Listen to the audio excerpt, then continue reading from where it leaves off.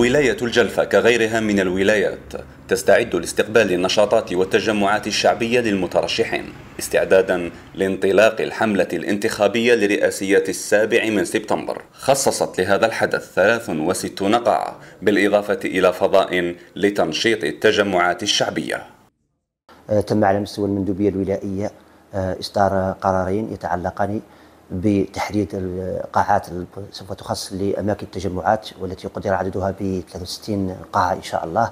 على موزع على آه، كل بلدية الولاية وعدها 36 بلدية. اذا هناك 63 قاعة إن شاء الله سوف يستغلها المترشحون أو ممثلهم لإجراء تجمعاتهم الانتخابية خلال الفترة من يوم 15 أوت إن شاء الله إلى غاية نهاية الحملة ليوم إن شاء الله يوم الثلاثاء 3 سبتمبر. تم تسخير قاعة المسرح الجهوي للجلفة آه، من طرف السلطة المستقلة للانتخابات وظروف كمواتية.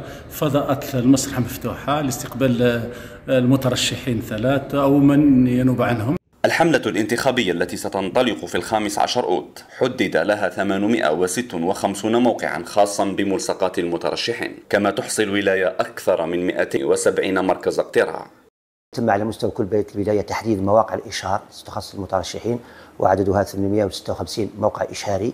وكما تعلم أن هذه المواقع عددها محدد وفقا لعدد سكان كل بلدية وبالتالي تم ضبطها في انتظار فقط موافاتنا بالتعليمات المتعلقة بترتيب المترشحين داخل هذه المواقع الإشهارية وفقا لتعليمات السيد رئيس السلطة الوطنية المستقلة للانتخابات.